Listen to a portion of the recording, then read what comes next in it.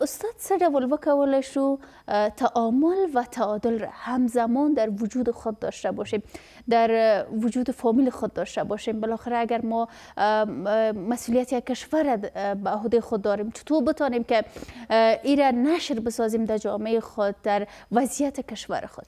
بسیار خوب است. به این خاطر ما باید بخوانیم دین بخوانیم. اسلام میگه اقرا باسم ربک الذی خلق. خلق.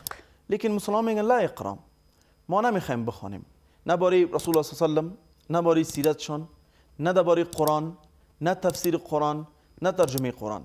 قرآن بدون شک باید خوانده شود که درست تلاوت کنی و لذت ببری. لیکن اصلی هدف قرآن این نیست که بر روان شده که چون بخوانی به تلاوت خوب. نه اصلی هدف قرآن چیست؟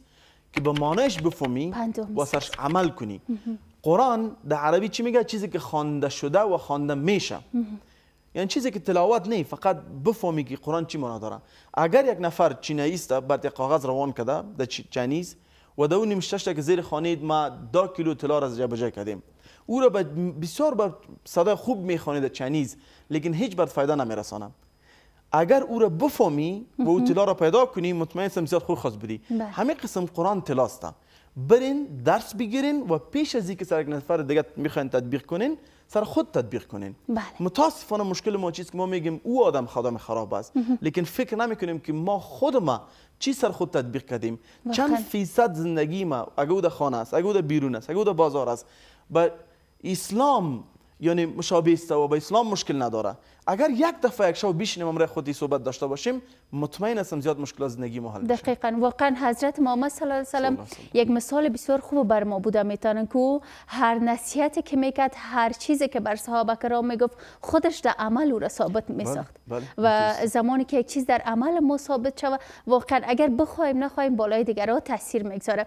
استاد بیاین در مورد تعامل بر ما بگوین که تعامل البته تعادل از نظر شما چطور رخ میته و چطور بتانیم در وجود خود تعادل هم برقرار بکنیم؟ جزاک الله خیر. مسلمان ها یک قومی هستن که اونا الله سبحانه باشن تعامل و تعادل اردوش بخشیده.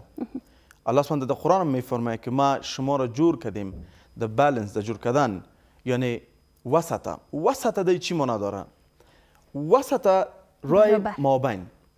ابن القیم الجوزیه میگه ای اصلا وسط نیست اگر چیزی خود از مابین از آخر بگیری فکر یک رسپاند است.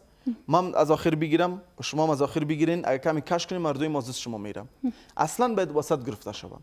و دویم اونا میفرماین که اصلا بالانس یا انصاف یا تعادل چیسته؟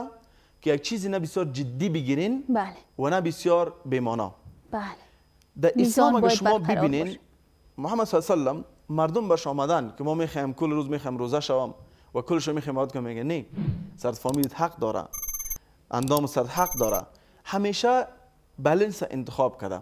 و کل زندگی محمد سلم ما می‌بینیم از عبدالله بن مسعود حدیث است که او نمازش عبادتش رفتارش گپایش همه چیز به تعادل بود و همیشه هیچ وقت یک اکستریم دو تا انتخاب نکردم. نه افراد و نه تفرید امروز اگر ما می‌خوایم یک کار در دین بکنیم فکر می‌کنیم که در افرادش دینداری است فکر می‌کنیم هر جگه که موضوع ما سخت بگیریم بله. دو دینداری متاسفانه که حالا هر قدر با جاهل ما سر می‌خوریم دگاه سخت گیری می‌کنیم. بله. بیشترش می‌سازیم. و حدیث از عایشه است که محمد صلی الله علیه و همیشه یک رای را می‌گرفت چیزی که آسان می بود چیزی که راحت می بود راحت می بود و امروز متاسفانه چیزی بسیار موضوع مهم است که هر چیزی که ما بسیار سخت گرفتیم فکر می‌کنیم که همین تقوا و همین دینداری است.